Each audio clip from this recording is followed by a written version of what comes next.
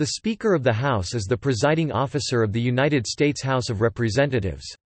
The office was established in 1789 by Article 1, Section 2 of the United States Constitution. The Speaker is the political and parliamentary leader of the House of Representatives, and is simultaneously the House's presiding officer, de facto leader of the body's majority party, and the institution's administrative head. Speakers also perform various other administrative and procedural functions. Given these several roles and responsibilities, the Speaker usually does not personally preside over debates. That duty is instead delegated to members of the House from the majority party. Neither does the Speaker regularly participate in floor debates. The Constitution does not require the Speaker to be an elected member of the House of Representatives, although every Speaker thus far has been. The Speaker is second in the United States presidential line of succession, after the Vice President and ahead of the President pro tempore of the Senate. The current House Speaker is Congressman Paul Ryan from Wisconsin. He was elected to the office on October 29, 2015, and is the 54th person to serve as Speaker. On April 11, 2018, Ryan announced he will not seek re-election in the 2018 mid-terms, and will also relinquish the office of Speaker when his term ends in 2019. Topic. Selection The House of Representatives elects the Speaker of the House on the first day of every new Congress and in the event of the death, resignation or removal from the chair of an incumbent Speaker. The Clerk of the House of Representatives requests nominations, there are normally two, one from each major party each party having previously met to decide on its nominee. The clerk then calls the roll of the representatives, each representative indicating the surname of the candidate the representative is supporting. Representatives are not restricted to voting for one of the nominated candidates and may vote for any person, even for someone who is not a member of the House at all.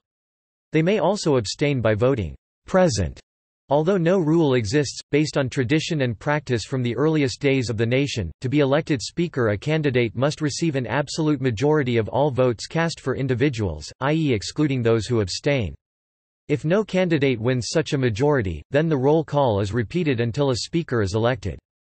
The last time repeated votes were required was in 1923, when the Speaker was elected on the ninth ballot. The new Speaker is then sworn in by the Dean of the United States House of Representatives, the chamber's longest serving member.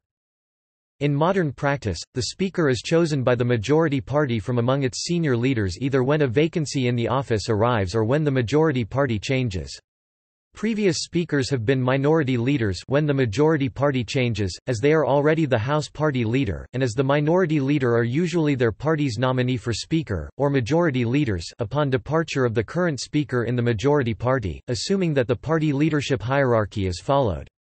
In the past, other candidates have included chairpersons of influential standing committees. Historically, the Democrats have always elevated their minority leader to the speakership upon reclaiming majority control of the House. However, Republicans have not always followed this leadership succession pattern. In 1919, Republicans bypassed James Robert Mann, R.I.L., who had been minority leader for eight years, and elected a backbencher representative, Frederick H. Gillett, R.M.A., to be Speaker.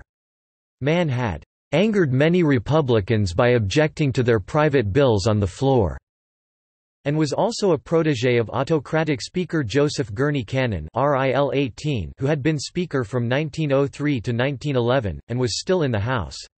Many members suspected that he Mann would try to re-centralize power in his hands if elected Speaker. It is expected that members of the House vote for their party's candidate. If they do not, they usually vote for someone else in their party or vote present those who vote for the other party's candidate often face serious consequences, up to and including the loss of seniority. The last instance where a representative voted for the other party's candidate was in 2000, when Democrat Jim Traficant of Ohio voted for Republican Dennis Hastert. In response, the Democrats stripped him of his seniority and he lost all of his committee posts. If the Speaker's party loses control of the House in an election, and if the Speaker and Majority Leader both remain in the leadership hierarchy, they would become the Minority Leader and Minority Whip, respectively. As the minority party has historically had one less leadership position after losing the Speaker's chair, there may be a contest for the remaining leadership positions. Upon losing control of the House after the 2010 election, the Democrats created the position of Assistant Democratic Leader in order to prevent such a contest. Most speakers whose party has lost control of the House have not returned to the party leadership. Tom Foley lost his seat, Dennis Hastert returned to the backbenches and resigned from the House in late 2007. However, Speakers Joseph William Martin Jr. and Sam Rayburn did seek the post of minority leader in the late 1940s and early 1950s. Nancy Pelosi is the most recent example of an outgoing speaker who was elected minority leader, after the Democrats lost control of the House in the 2010 elections. History The first speaker was Frederick Muhlenberg. He was elected as a pro-administration candidate to the First Congress, an anti-administration candidate to the Second and Third Congresses, and a Republican candidate to the Fourth Congress, according to the Biographical Directory of Congress, though Oswald Seidensticker wrote that he was elected as a Federalist for the first four Congresses. The position of Speaker started to gain its partisan role and its power in legislative development under Henry Clay (1811–1814, 1815–1820, and 1823–1825). In contrast to many of his predecessors, Clay participated in several debates, and used his influence to procure the passage of measures he supported—for instance, the declaration of the War of 1812, and various laws relating to Clay's American system economic plan. Furthermore, when no candidate received an electoral college majority in the 1824 presidential election causing the president to be elected by the House, Speaker Clay threw his support to John Quincy Adams instead of Andrew Jackson, thereby ensuring Adams' victory. Following Clay's retirement in 1825, the power of the speakership once again began to decline, despite speakership elections becoming increasingly bitter. As the Civil War approached, several sectional factions nominated their own candidates, often making it difficult for any candidate to attain a majority. In 1855 and again in 1859, for example, the contest for Speaker lasted for two months before the House achieved a result. During this time, speakers tended to have very short tenures. For example, from 1839 to 1863 there were 11 speakers, only one of whom served for more than one term. To date, James K. Polk is the only Speaker of the House later elected President of the United States. Towards the end of the 19th century, the office of Speaker began to develop into a very powerful one. At the time, one of the most important sources of the Speaker's power was his position as chairman of the Committee on Rules, which, after the reorganization of the committee system in 1880, became one of the most powerful standing committees of the House. Furthermore, several speakers became leading figures in their political parties. Examples include Democrats Samuel J. Randall, John Griffin Carlisle, and Charles F. Crisp, and Republicans James G. Blaine, Thomas Brackett Reed, and Joseph Gurney Cannon. The power of the Speaker was greatly augmented during the tenure of the Republican Thomas Brackett Reed (1889 to 1891, 1895 to 1899), Czar Reed as he was called by his opponents, sought to end the obstruction of bills by the minority, in particular by countering the tactic known as the disappearing quorum. By refusing to vote on a motion, the minority could ensure that a quorum would not be achieved, and that the result would be invalid. Reed, however, declared that members who were in the chamber but refused to vote would still count for the purposes of determining a quorum. Through these and other rulings, Reed ensured that the Democrats could not block the Republican agenda. The speakership reached its apogee during the term of Republican Joseph Gurney Cannon (1903–1911). Cannon exercised extraordinary control over the legislative process. He determined the agenda of the House, appointed the members of all committees, chose committee chairmen, headed the Rules Committee, and determined which committee heard each bill. He vigorously used his powers to ensure that Republican proposals were passed by the House. In 1910, however, Democrats and several dissatisfied Republicans joined together to strip Cannon of many of his powers, including the ability to name committee members and his chairmanship of the Rules Committee. Fifteen years later, Speaker Nicholas Longworth restored much, but not all, of the lost influence of the position. One of the most influential speakers in history was Democrat Sam Rayburn. Rayburn was the longest-serving Speaker in history, holding office from 1940 to 1947, 1949 to 1953, and 1955 to 1961. He helped shape many bills, working quietly in the background with House committees. He also helped ensure the passage of several domestic measures and foreign assistance programs advocated by Presidents Franklin D. Roosevelt and Harry Truman. Rayburn's successor, Democrat John W. McCormack served 1962–1971, was a somewhat less influential speaker, particularly because of dissent from younger members of the Democratic Party. During the mid-1970s, the power of the speakership once again grew under Democrat Carl Albert. The Committee on Rules ceased to be a semi-independent panel, as it had been since 1910. Instead, it once again became an arm of the party leadership. Moreover, in 1975, the Speaker was granted the authority to appoint a majority of the members of the Rules Committee. Meanwhile, the power of committee chairman was curtailed, further increasing the relative influence of the Speaker. Albert's successor, Democrat Tip O'Neill, was a prominent speaker because of his public opposition to the policies of President Ronald Reagan. O'Neill is the longest continually serving speaker, from 1977 through 1987. He challenged Reagan on domestic programs and on defense expenditures. Republicans made O'Neill the target of their election campaigns in 1980 and 1982 but Democrats managed to retain their majorities in both years. The roles of the parties reversed in 1994 when, after spending 40 years in the minority, the Republicans regained control of the House with the "'Contract with America' an idea spearheaded by Minority Whip Newt Gingrich. Speaker Gingrich would regularly clash with Democratic President Bill Clinton, leading to the United States federal government shutdown of 1995 and 1996, in which Clinton was largely seen to have prevailed. Gingrich's hold on the leadership was weakened significantly by that and several other controversies, and he faced a caucus revolt in 1997. After the Republicans lost House seats in 1998 although retaining a majority he did not stand for a third term as Speaker. His successor, Dennis Hastert, had been chosen as a compromise candidate, since the other Republicans in the leadership were more controversial. Hastert played a much less prominent role than other contemporary speakers, being overshadowed by House Majority Leader Tom DeLay and President George W. Bush. The Republicans came out of the 2000 elections with a further reduced majority but made small gains in 2002 and 2004. The periods of 2001–2002 and 2003–2007 were the first time since 1953–1955 that there was single-party Republican leadership in Washington, interrupted from 2001 to 2003 as Senator Jim Jeffords of Vermont left the Republican Party to become independent and caucused with Senate Democrats to give them a 51–49 majority. In the 2006 midterm elections, the Democrats won a majority in the House. Nancy Pelosi became Speaker when the 110th Congress convened on January 4, 2007, making her the first woman to hold the office. With the election of Barack Obama as president and Democratic gains in both houses of Congress, Pelosi became the first Speaker since Tom Foley to hold the office during single-party Democratic leadership in Washington.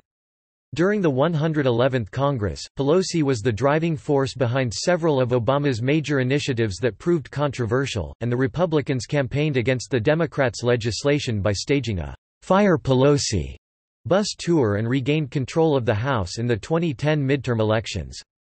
House Minority Leader John Boehner was elected as Speaker. Notable elections Historically, there have been several controversial elections to the speakership, such as the contest of 1839. In that case, even though the 26th United States Congress convened on December 2, the House could not begin the speakership election until December 14 because of an election dispute in New Jersey known as the Broad Seal War. Two rival delegations, one Whig and the other Democrat, had been certified as elected by different branches of the New Jersey government. The problem was compounded by the fact that the result of the dispute would determine whether the Whigs or the Democrats held the majority. Neither party agreed to permit a speakership election with the opposite party's delegation participating. Finally, it was agreed to exclude both delegations from the election and a speaker was finally chosen on December 17. Another, more prolonged fight occurred in 1855 in the 34th United States Congress. The old Whig Party had collapsed but no single party had emerged to replace it. Candidates opposing the Democrats had run under a bewildering variety of labels, including Whig, Republican, American Know Nothing, and simply, "'opposition". By the time Congress actually met in December 1855, most of the Northerners were concentrated together as Republicans, while most of the Southerners and a few Northerners used the American or Know Nothing label. Opponents of the Democrats held a majority in House, with the party makeup of the 234 representatives being 83 Democrats, 108 Republicans, and 43 Know-Nothings primarily Southern oppositionists. The Democratic minority nominated William Alexander Richardson of Illinois as Speaker, but because of sectional distrust, the various oppositionists were unable to agree on a single candidate for Speaker. The Republicans supported Nathaniel Prentiss Banks of Massachusetts, who had been elected as a Know-Nothing but was now largely identified with the Republicans. The Southern Know-Nothings supported first Humphrey Marshall of Kentucky, and then Henry M. Fuller of Pennsylvania. The voting went on for almost two months with no candidate able to secure a majority, until it was finally agreed to elect the Speaker by plurality vote, and Banks was elected. The House found itself in a similar dilemma when the 36th Congress met in December 1859. Although the Republicans held a plurality, the Republican candidate, John Sherman, was unacceptable to Southern oppositionists due to his anti-slavery views, and once again the House was unable to elect a Speaker for several months. After Democrats allied with Southern oppositionists to nearly elect the North Carolina oppositionist William N. H. Smith, Sherman finally withdrew in favor of compromise candidate William Pennington of New Jersey, a former Whig of unclear partisan loyalties, who was finally elected Speaker at the end of January 1860. The last speakership elections in which the House had to vote more than once occurred in the 65th and 72nd United States Congress. In 1917, neither the Republican nor the Democratic candidate could attain a majority because three members of the Progressive Party and other individual members of other parties voted for their own party. The Republicans had a plurality in the House but James Champ Clark remained Speaker of the House because of the support of the Progressive Party members. In 1931, both the Republicans and the Democrats had 217 members with the Minnesota Farmer Labor Party having one member who served as the deciding vote. The Farmer Labor Party eventually voted for the Democrats' candidate for Speaker, John Nance Garner, who later became Vice President under Franklin Roosevelt. In 1997, several Republican congressional leaders tried to force Speaker Newt Gingrich to resign. However, Gingrich refused since that would have required a new election for Speaker, which could have led to Democrats along with dissenting Republicans voting for Democrat Dick Gephardt then Minority Leader as Speaker. After the 1998 midterm elections where the Republicans lost seats, Gingrich did not stand for re-election. The next two figures in the House Republican leadership hierarchy, Majority Leader Richard Armey and Majority Whip Tom DeLay, chose not to run for the office. The chairman of the House Appropriations Committee, Bob Livingston, declared his bid for the speakership, which was unopposed, making him Speaker-designate. It was then revealed, by Livingston himself, who had been publicly critical of President Bill Clinton's perjury during his sexual harassment trial, that he had engaged in an extramarital affair. He opted to resign from the House, despite being urged to stay on by House Democratic leader Gephardt. Subsequently, Chief Deputy Whip Dennis Hastert was selected as Speaker. The Republicans retained their majorities in the 2000, 2002, and 2004 elections. The Democrats won a majority of seats in the 2006 midterm elections. On November 16, 2006, Nancy Pelosi, who was then minority leader, was selected as Speaker designate by House Democrats. When the 110th Congress convened on January 4, 2007, she was elected as the 52nd Speaker by a vote of 233 to 202, becoming the first woman elected Speaker of the House. Pelosi remained Speaker through the 111th Congress. For the 112th Congress, Republican John Boehner was unanimously designated Speaker designate by House Republicans and was elected the 53rd Speaker of the House. As a show of dissent, 19 Democratic representatives voted for Democrats other than Pelosi, who had been chosen as House Minority Leader and the Democrats' candidate for Speaker. Partisan role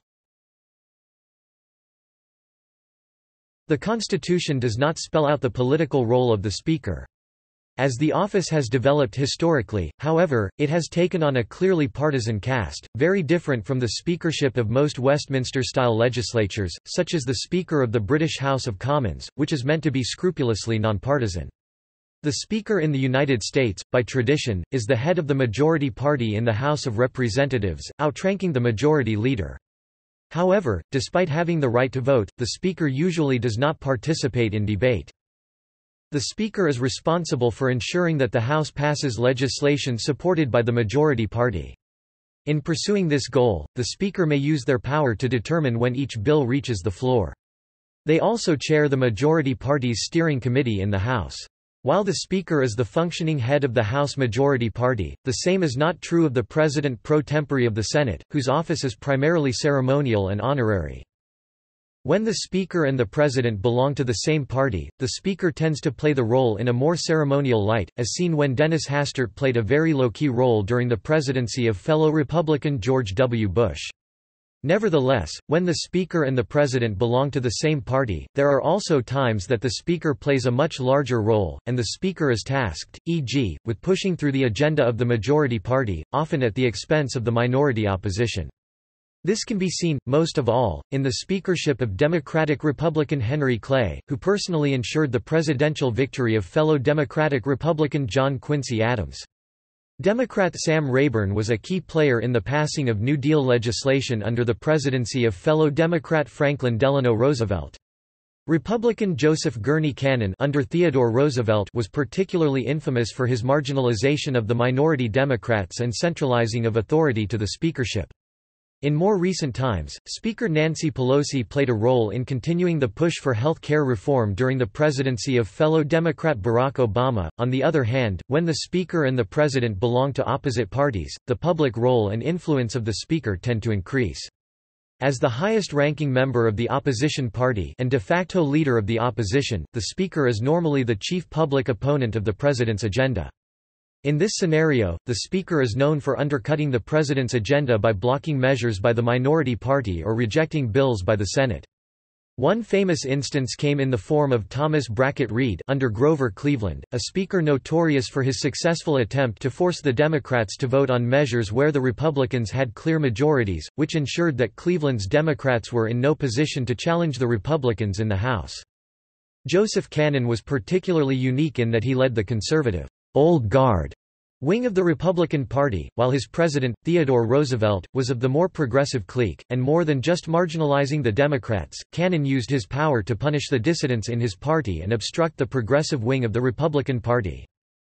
More modern examples include Tip O'Neill, who was a vocal opponent of President Ronald Reagan's economic and defense policies, Newt Gingrich, who fought a bitter battle with President Bill Clinton for control of domestic policy, Nancy Pelosi, who argued with President George W. Bush over the Iraq War, and John Boehner, who clashed with President Barack Obama over budget issues and health care.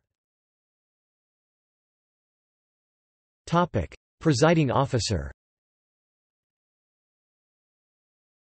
As presiding officer of the House of Representatives, the Speaker holds a variety of powers over the House and is ceremonially the highest-ranking legislative official in the U.S. government. The Speaker may delegate his powers to a member of the House to act as Speaker pro tempore and preside over the House in the Speaker's absence. When this has occurred the delegation has always been to a member of the same party. During important debates, the Speaker pro tempore is ordinarily a senior member of the majority party who may be chosen for his skill in presiding. At other times, more junior members may be assigned to preside to give them experience with the rules and procedures of the House. The Speaker may also designate, with approval of the House, a Speaker pro tempore for special purposes, such as designating a representative whose district is near Washington, D.C. to sign enrolled bills during long recesses. Under the rules of the House, the Speaker, as soon as practicable after the election of the Speaker and whenever appropriate thereafter, must deliver to the Clerk of the House a confidential list of members who are designated to act as Speaker in the case of a vacancy or physical inability of the Speaker to perform their duties. On the floor of the House, the presiding officer is always addressed as Mr. Speaker or Madam Speaker, even if it is a Speaker pro tempore, and not the Speaker themselves. When the House resolves itself into a committee of the whole, the Speaker designates a member to preside over the committee as the chairman, who is addressed as Mr. Chairman, or Madam Chairwoman. To speak, members must seek the presiding officer's recognition. The presiding officer also rules on all points of order but such rulings may be appealed to the whole House. The Speaker is responsible for maintaining decorum in the House and may order the Sergeant at Arms to enforce House rules. The Speaker's powers and duties extend beyond presiding in the chamber. In particular, the Speaker has great influence over the committee process. The Speaker selects nine of the thirteen members of the powerful Committee on Rules, subject to the approval of the entire majority party. The leadership of the minority party chooses the remaining four members. Furthermore, the Speaker appoints all members of select committees and conference committees. Moreover, when a bill is introduced, the Speaker determines which committee will consider it. As a member of the House, the Speaker is entitled to participate in debate and to vote. Ordinarily, the Speaker votes only when the Speaker's vote would be decisive or on matters of great importance, such as constitutional amendments or major legislation. Other functions Because joint sessions and joint meetings of Congress are held in the House chamber, the Speaker presides over joint sessions to hear addresses by the President, and joint meetings to hear addresses from foreign leaders or other invited guests. However, the Twelfth Amendment and 3 U.S.C. Section 15 require that the President of the Senate preside over joint sessions of Congress assembled to count electoral votes and to certify the results of a presidential election. The Speaker is also responsible for overseeing the officers of the House, the clerk, the sergeant at arms, the chief administrative officer, and the chaplain. The Speaker can dismiss any of these officers. The Speaker appoints the House historian and the General Counsel and, jointly with the majority and minority leaders, appoints the House Inspector General. The Speaker is second in the presidential line of succession, immediately after the Vice President, under the Presidential Succession Act of 1947. The Speaker is followed in the line of succession by the President pro tempore of the Senate and by the heads of federal executive departments. To date, the implementation of the Presidential Succession Act has never been necessary and no Speaker has ever acted as President. Implementation of the law almost became necessary in 1973 after the resignation of Vice President Spiro Agnew. At the time, many believed that President Richard Nixon would resign because of the Watergate scandal, allowing Speaker Carl Albert to succeed to the presidency. However, before he resigned, Nixon appointed Gerald Ford as vice president in accordance with the 25th Amendment. Nevertheless, the United States government takes the Speaker's place in the line of succession seriously enough that, for example, following the terrorist attacks of September 11, 2001, Speakers used military jets to fly back and forth to their districts and for other travel until Speaker Boehner discontinued the practice in 2011. The Speaker of the House is one of the officers to whom declarations of presidential inability or ability to resume the presidency must be addressed under the 25th Amendment. Topic: Most recent election for Speaker 2017. To be elected as Speaker, a candidate must receive an absolute majority of all votes cast for individuals, excluding those who abstain. The most recent election for the post of Speaker of the United States House of Representatives took place on January 3, 2017, during the opening day of the 115th United States Congress. The incumbent Speaker, Paul Ryan, was re-elected. See also. Party leaders of the United States House of Representatives. Party leaders of the United States Senate. Bibliography